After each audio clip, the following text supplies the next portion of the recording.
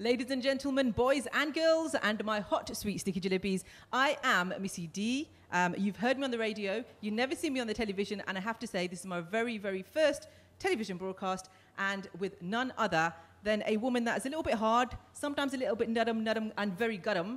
Um, and uh, what more can I say about her? She's going to come down the stairs. I'd like to introduce to you today on missyd.com, Miss Hard Kaur in the house. Hi. Everyone make some noise. That's my audience for you. Good, Good, good. How you doing? Sit yourself down. Firstly, can I say, the hair. Yeah. Why are you looking like me and I'm looking like you? Because you used to have the lumpy, lumpy ball. Yeah. What's going uh, on? I was shooting for the film and it just took so long. And the minute he said it's a wrap, I ran to the It's hairdressers and.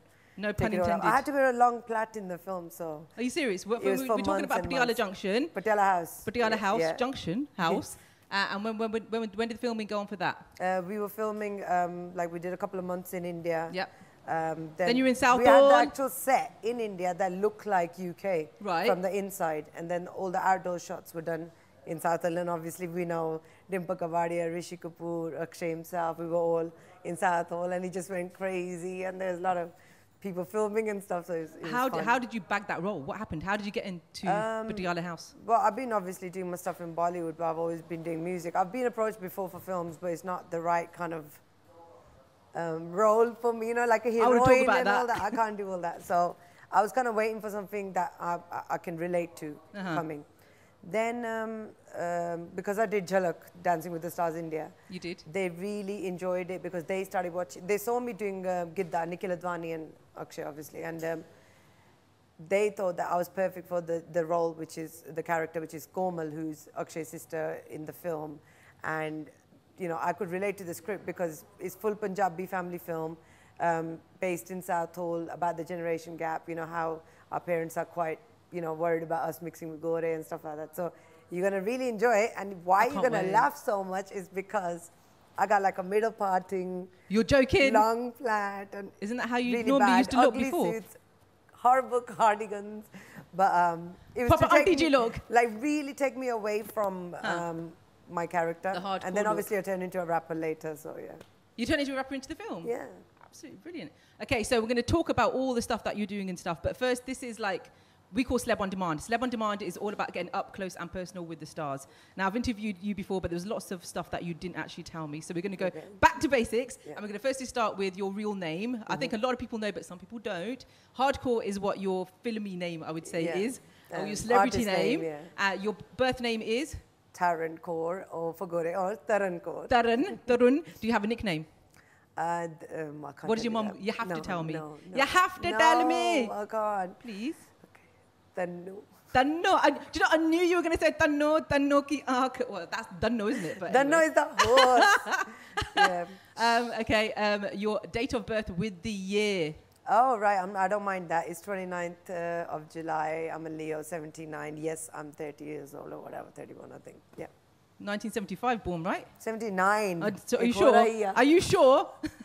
I did Yeah. my research, yaar. Yeah, yeah, 79, 79 born. yeah. Okay, uh, so uh, brothers and sisters, how many you got? I got one younger brother, And what's his name?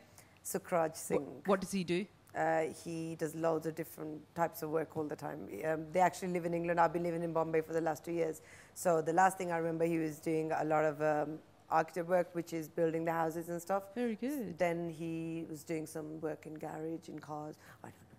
Okay. Mum lives with you in Bombay No, or in mom lives Birmingham? in, mom lives in India. I'm, Is she in I, India I with live you? in Bombay alone.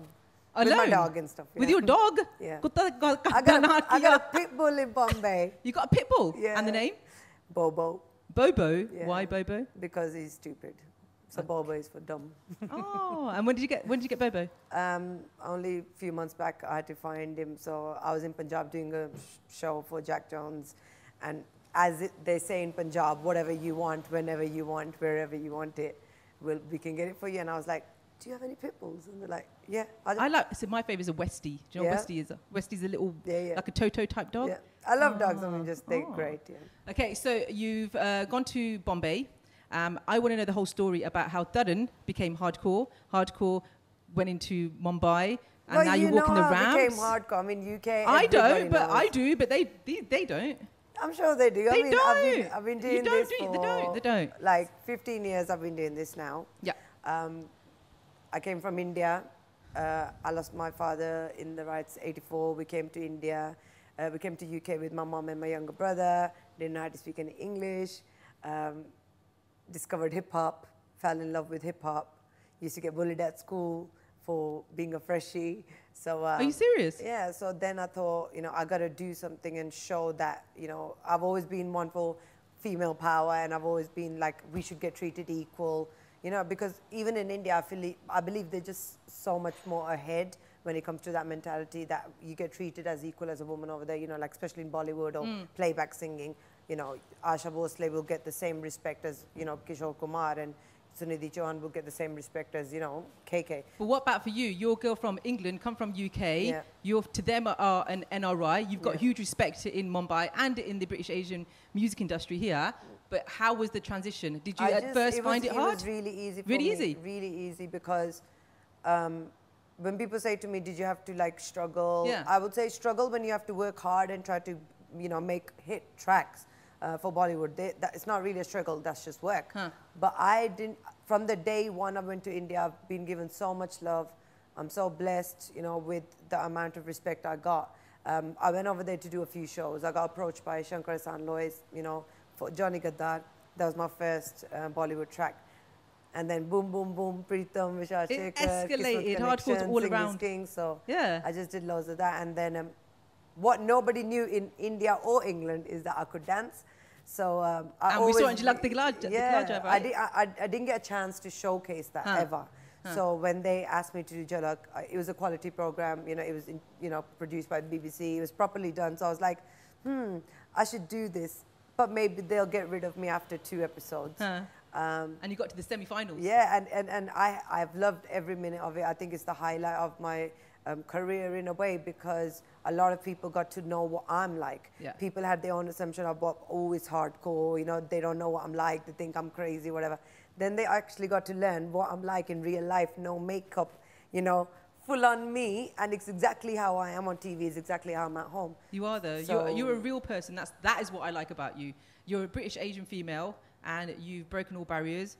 Um, I know when I talked to you last, you did say that you have had a lot of hatred um, in the industry. Do you want to talk about that? I think that was more like right at the beginning, and Yeah. then it was uh, British, Asian. So it's more these people Yeah, in your own country that actually gave you hate, Yeah. rather than in Mumbai where you've been welcomed No, with, I've with always open arms. Yeah, Bombay. I mean, I've had I've had so much. Like, the, like I'm saying, how can you totally be yourself and you have people love you? That's the best feeling, you know. And I love being in India. I, was, I think, uh, you see, I am who I am because of both countries. Yeah. India, I was born there. It gave me culture. It gave me, you know, my roots. That's I respect that. But then UK made me hardcore. It told me how to say no, stand up for myself, and you know Where did the name Hard Kaur come from? people used to tease me because I used to have a lot of arguments and fights with boys that I can rap and da, da, da. and they used to want to battle. And Huh. then um, we were outside Punjabi MC um, studio one day, and um, some of the boys were like, "Yo, bust a rhyme, she can't do nothing." And I was like, "Yeah." So I bust him like a 16 bar, and everybody was like, "Oh my God, she shouldn't be called Taran Kaur, she should be called Hard Kaur." Hardcore. Yeah, so. I always, every time I say your name, I say Hard Kaur. You know the school. I don't know why. I don't know why. So you like, you know, talk, talking about spitting rhymes. Can you can you spit us one? yeah, no problem. Whatever, whatever you want and Then, however uh, you want. and then we're gonna do a bit, Then we're gonna do a bit of a, a burn off because I can rap as well. Yeah. Yeah, no. Cool. no. I did a track. Do you know I did a track with Jaspinder Narula? Really? Yes. Oh, she's a great singer. Yeah, she's a great singer. Yeah. Um, it's called Kinu Dasa, and I rapped in Punjabi. I actually did ten tracks of an album, uh, and then my producer ran off with it. Oh. I know. So See, anyway, this, the, the When- male-dominated industry of yeah. Well, UK, we'll- yeah. I'll, I'll, I can give you the chance to interview me, and I'll probably start crying. But no. Aw. So after three, a one, a two, a one, two, three, go four, Hard Kaur. Yo, HK make way backbreaker. Ever since I was a little youth, I've been a money maker. Stop, step heavy ground breaker. I chat up on the mic like I was from Jamaica. And ha ha ha, I ain't no booty shaker, but in Bollywood films I be hot like Rekha. And I got too many like